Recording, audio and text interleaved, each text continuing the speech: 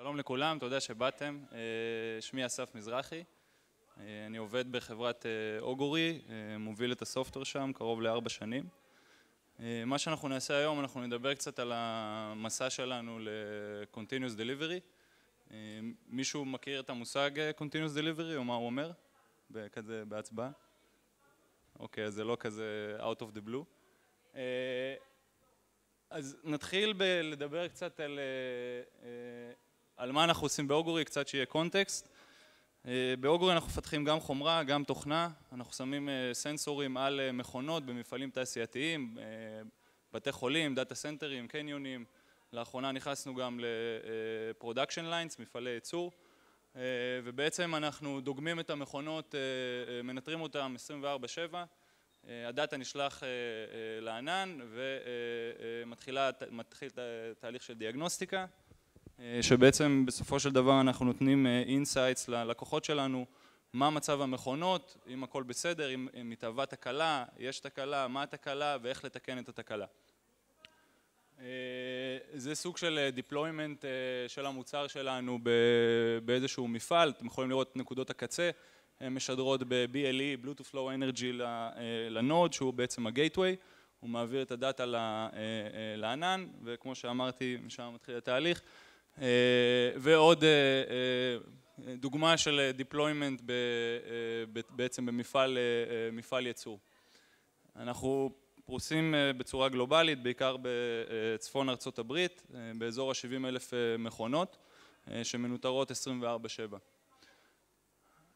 לפני שנתקדם יותר, קצת חשוב לדבר על המבנה שלנו, של ה-R&D, איך אנחנו עובדים, מה ה scale, מה הסדר גודל.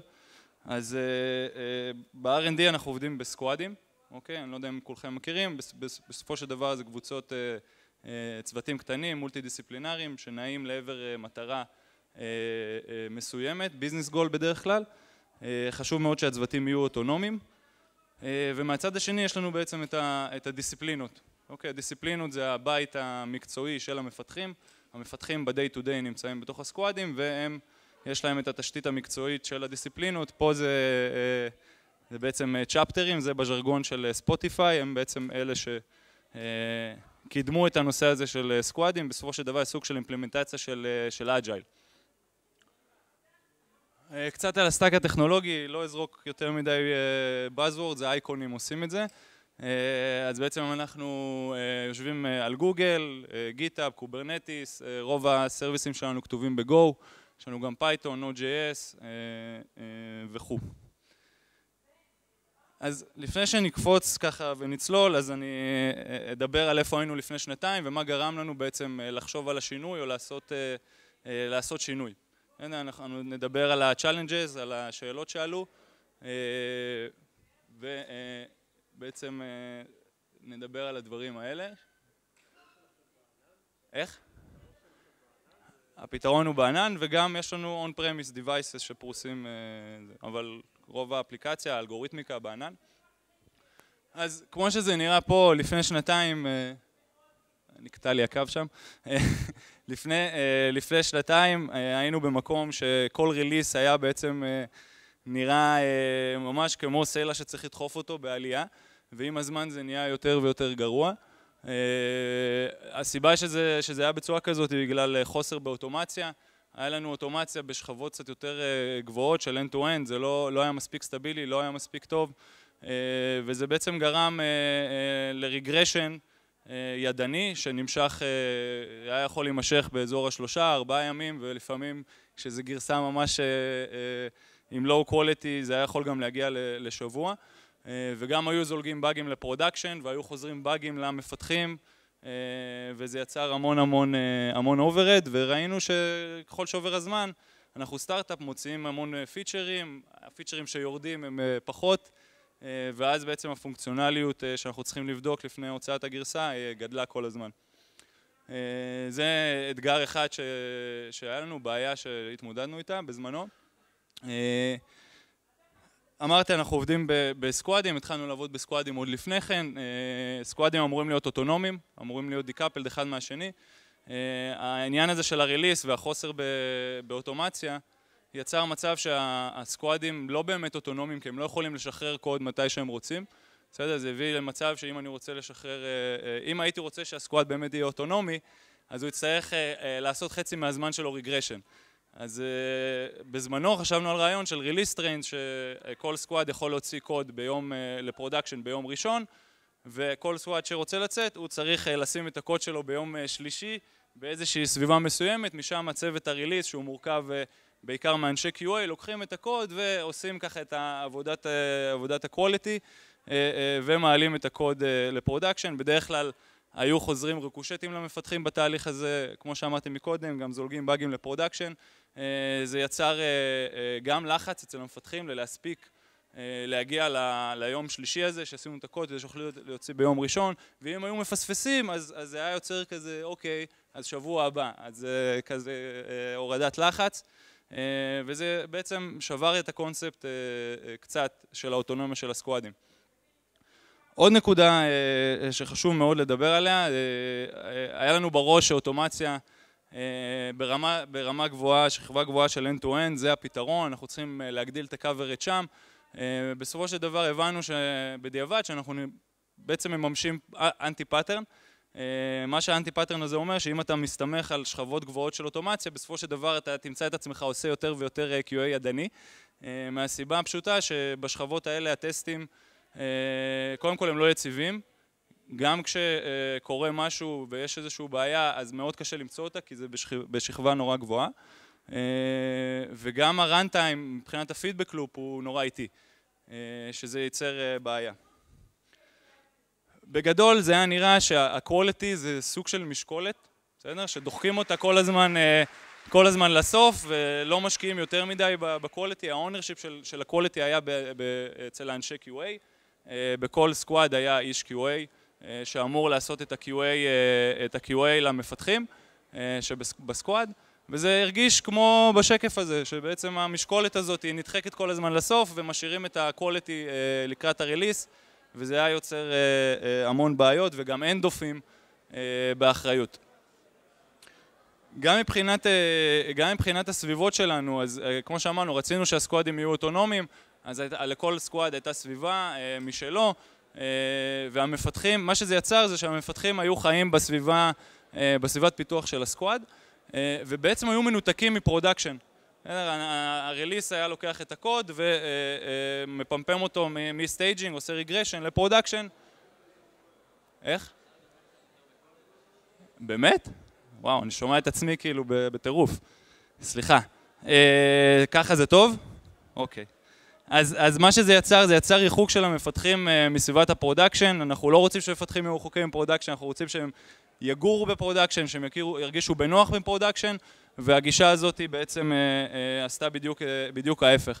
Uh, נראה לי שה slide הזה בערך מסכם קצת uh, את, ה, את הבעיה בגדול, המון הנדאופים בתהליך הפיתוח. מה זה אומר הנדאופים? המפתח ככה עושה איזה משהו ואז מעביר את הכדור לאיש QA. אה, אתה עכשיו תעשה לי את ה-quality, ואני אמשיך קדימה, ובסופו של דבר הכדור היה חוזר, בזמן שהוא לא מוכן אליו, יוצר המון context switching בתהליך הפיתוח. אה, כנ"ל גם ב design, היה איזשהו קונצנזוס שהארכיטקטים הם, הם אלה שמקבלים את ההחלטות, הראשי צוותים, האנשים היותר senior, שוב, handoff בתהליך, אה, ממש סוג של חוסר empowerment של המפתח בתהליך הזה, וגם מבחינת ה deployment, המפתח לא היה, כמו שאמרתי מקודם, לא היה לוקח את הקוד שלו ל production. הוא היה שם אותו באיזו סביבה מסוימת והקוד איכשהו היה מגיע לשם והמפתח היה ניגש ל production רק כשמשהו לא בסדר קורה. אה, כל הדברים האלה בעצם הביאו אותנו לחשוב ש, שאנחנו לא בכיוון הנכון ואם אנחנו רוצים להמשיך אה, אה, לעבוד ולהגדיל את הקצב, להגדיל את ה quality בחברה, אנחנו צריכים לעשות שינוי. השינוי, ש...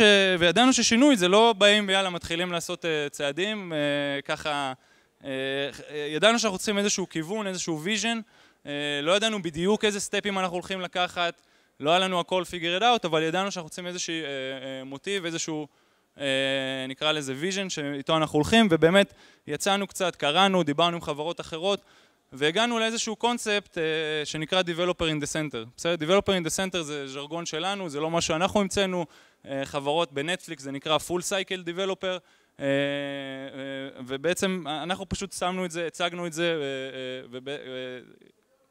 פיבלשנו את זה בצורה כזאת. מה שבעצם הקונספט הזה אומר, הוא אומר שבתהליך הפיתוח, בין שלב ההגדרה לדיזיין, לאימפלימנטציה, מה זה אומר, שעבר 20 דקות? אוקיי. לאימפלימנטציה, גם ל deployment, בעצם המפתח עושה המון המון הנדאופים, מה, שראינו היום, והקונספט של Developer in the Center בא ואומר, אני רוצה לתת למפתח את הכלים, אני רוצה לתת לו את הפלטפורמה של collaboration, של עזרה, אבל לתת לו את האחריות שהוא יהיה אחראי על כל ה cycle הזה.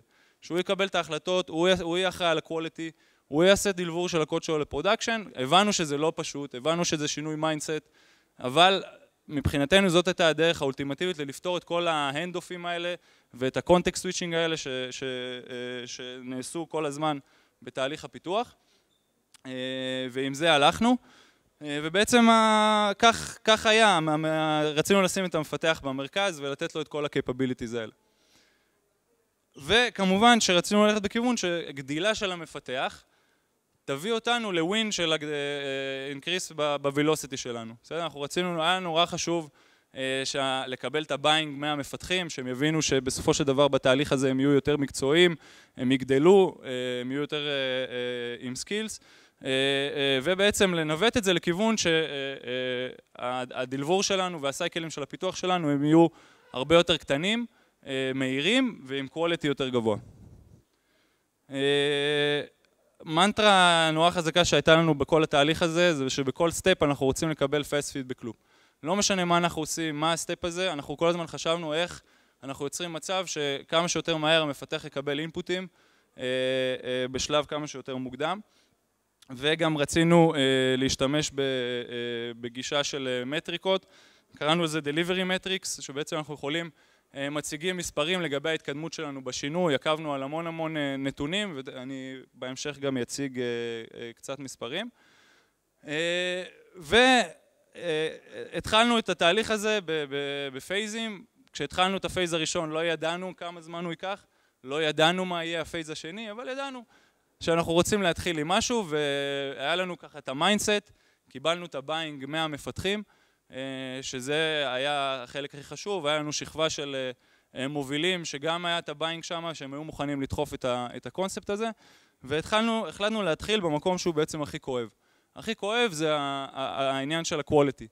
מה קורה ב quality זה אה, שיש hand-off לאנשי QA, המפתחים הם לא ב ownership על האיכות של הקוד שלהם, ואנחנו רוצים לקחת את המשקולת הזאת שיושבת לנו בגרון אה, לפני כל release אה, ותוך כדי תהליך ה regression ולהכניס אותה ולהטמיע אותה built-in בתוך תהליך הפיתוח. אה, וזה, וזה היה ה phase הראשון והדבר הראשון שעשינו זה באנו ואמרנו QA זה כבר לא quality assurance, QA זה quality assistant. אנשי QA יוצאים מהצוותים אתם כבר לא באחריות על ה quality של, של הקוד של המפתחים, המפתח אחראי על ה quality, ואתם פה לעזור לו לשנות את ה mindset לכיוון הזה.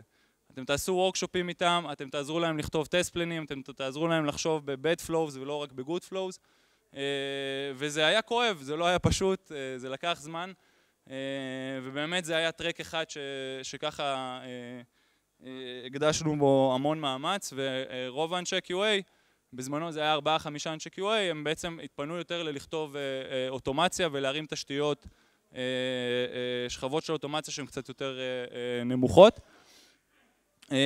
שינינו גם את תהליך הדיזיין. תהליך ה design, אתם בטח מכירים, או לפחות מהניסיון שלי, תהליך design הוא תהליך כזה קצת מצחיק. מפתחים, מפתח ומפתחים יושבים, כותבים מסמך design ארוך, ובסופו של דבר אה, מגיעים לאיזושהי ישיבת design וכולם אה, מתאספים ואולי איזה 70% מהאנשים בכלל לא יודעים מה ה context ומה מדובר ואנחנו מצפים שמה setup הזה בעצם נצא עם design גם יותר טוב וגם יהיה knowledge sharing אה, בתוך, ה- בתוך הארגון. וזה קצת אשליה כי בדרך כלל מה שקורה זה נתקעים בדברים הכי אזוטריים והדיזיין נגמר והמפתח יוצא ככה, המפתחים יוצאים מתוסכלים לפעמים עם החלטות לפעמים בלי אה, ומה שרצינו לעשות זה, זה בעצם ליישם את העיקרון של ה-Fast Feedback Loop. התחלנו לעבוד, ב, אה, אה, קודם כל יצרנו טמפלט של דיזיין, שיהיה פשוט, שלא כל אחד יצטרך להמציא את הגלגל.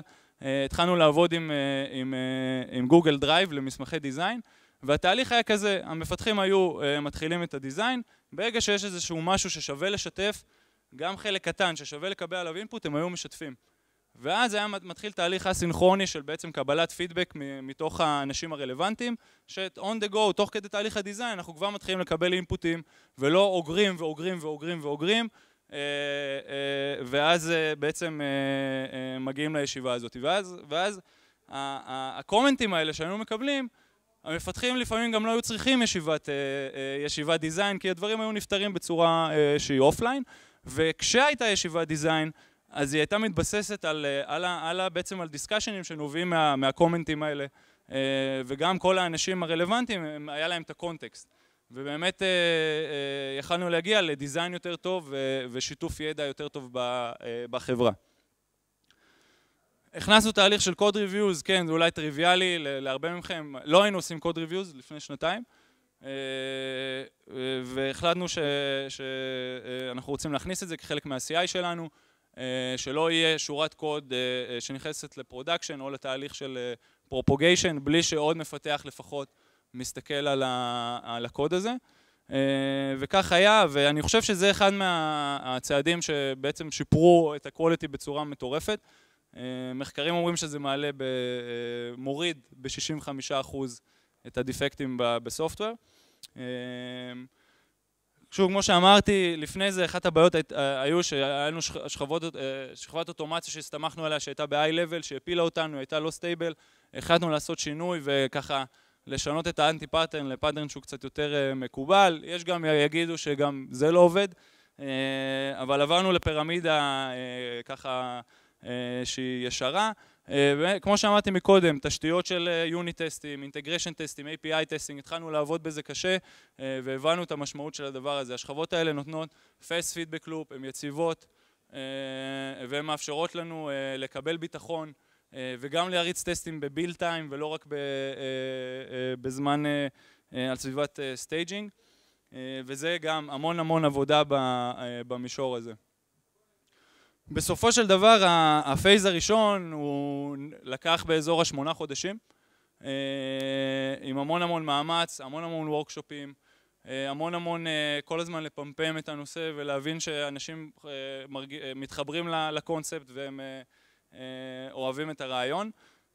עדיין היינו ב release ים, עדיין היה ז'רגון של release ים בחברה, אמנם ה release היה קצת יותר light כי, כי הוספנו אוטומציה, אבל עדיין היה את הקונספט הזה של ה release, עדיין ה squad ים היו תלויים אחד בשני בלהוציא קוד, וידענו שה phase השני הוא בעצם הולך להתבסס על, על איך, אנחנו, איך אנחנו מאפשרים למפתח ב cycle הזה של Developer in the Center לקחת גם את האחריות על, על delivery של הקוד ל production. והבנו שזה לא יכול לקרות אם בעצם אנחנו נמשיך לעבוד באגרגציה של קוד, אגרגציה של קוד, ואז בואו נוציא איזושהי אבן גדולה ל production, הבנו שאנחנו צריכים לעבוד על שבירה, על איך אנחנו שוברים, שוברים לחתיכות קטנות שהן shippable בנפרד, testable בנפרד, וזה גם תהליך שהוא לא פשוט, זה דברים שצריכים לקרות בשלב ה design, זה mindset שונה, דברים כמו Backward Compatibility, איך עושים שינויים אדיטיביים ולא שוברים מודלים, איך מייצרים את ה, בעצם את החוסר תלות הזאת, וקיווינו וההיפותזה הייתה שזה בעצם יביא את המפתחים ליכולת לדלבר את הקוד שלהם ל production ולחיות יותר קרוב ל production. ובזה התמקד ה phase השני.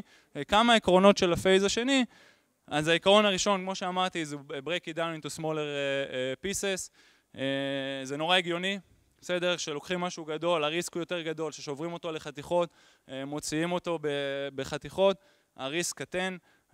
רצינו שהמפתחים ירגישו שלהעלות קוד ל production זה משהו טריוויאלי, זה משהו שקורה ככה ביום יום ולא איזה משהו שהוא דרמטי, וידענו שזה חלק נורא מהותי בגישה הזאת. כמו שאמרתי, closer to production, היה לנו נורא חשוב, בסדר? הרגשנו את ה impact השלילי שברגע שהמפתחים הם בשני הופים, שני סביבות מ production, הם לא, הם לא היו שם, הם לא הכירו את production, לא הרגישו בנוח עם production, שהיו בעיות והיו incidents ודברים שצריך להסתכל עליהם, אז, אז לא הרבה אנשים ידעו איך להתנהג בסביבה הזאת, רק באמת הסיניורס. וזה גם משהו שדחפנו אליו. עוד נושא ועיקרון שרצינו לקדם זה להפריד את, ה, להפריד את, ה, את הקונספט של deployment מ-release. יותר מזה, רצינו להכחיד את, ה, את הז'רגון של release בצורה פנימית, אה, ושזה release יהיה רק external, באמת משהו שה product אה, מדברים עם ה-customer success, שהנה יצא איזה משהו חדש שמשפיע על הלקוח. אבל המטרה היא בעצם ש deployment של קוד זה לאו דווקא release, זה לאו דווקא משפיע על ה user, לפעמים זה ב feature flagging, לפעמים הקוד לא רץ, אה, אה, ובעצם אה, זאת הייתה המטרה, תשתיות ומתודולוגיות כמו feature flags, הרמנו service שיעשה לנו את זה, זה היה נורא נורא פשוט, הדבר הזה תרם המון ל decoupling של ה building blocks האלה ויכולת להוציא קוד ל production בלי לקרוא לזה release. וככה באמת היה. ה phase השני, אפשר להגיד שהוא עדיין נמשך כל עוד אין לנו phase שלישי. כבר מתבשל הכיוון, הכיוון הבא, על מה אנחנו רוצים לשים דגש. אנחנו רוצים להביא את הקונספט הזה גם, ל, גם לעולם של Continuous Delivery, גם ל-Embedded, גם לפיתוח של Embedded Software, ששם יש פחות כלים, פחות תשתיות, וזה קצת יותר קשה. אז כמו שהזכרתם מקודם, אז, אז דיברנו קצת על Delivery Metrics ולא נגעתי בזה, אבל היה לנו נורא חשוב, או לפחות הייתה היפותזה כזאתי, שברגע שאנחנו נחצין מטריקות, ברגע שאנחנו נראה למפתחים את, ה, את, איך, את השינוי בצורה נומרית, אז זה ייתן מוטיבציה, זה ייתן יותר boost לעשות את השינוי, גם בטוב וגם ברע, אה, והתחלנו למדוד דברים, פשוט מדדנו הכל. אה, מדדנו את ה-coverage האוטומטי בכל service שלנו, מדדנו את רמת ה collaboration בין האנשים, כלומר אנשים עושים code reviews, כמה הם עושים code reviews, כמה אנשים ורסטיליים, כמה הם נותנים אה, אה, בעצם פידבקים אה, אחד לשני, לא מתוך מקום של micro-management, אלא מתוך מקום שבאמת לאפשר למפתחים לראות את ההתקדמות ובאמת גם tracking על באגים, tracking על, על איך אנחנו שוברים משימות, בין אם זה טסקים בג'ירה, כמה sub טסקים בממוצע בעצם פירקנו וכל מיני מטריקות מעניינות כאלה שבאמת קידמו אותנו לאורך כל הדרך והיינו עושים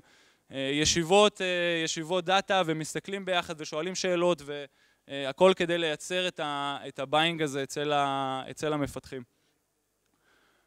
אה, כמה נקודות שהן לא טריוויאליות שרציתי להעלות, בסדר? ולדבר עליהן, שלמדנו תוך כדי התהליך הזה.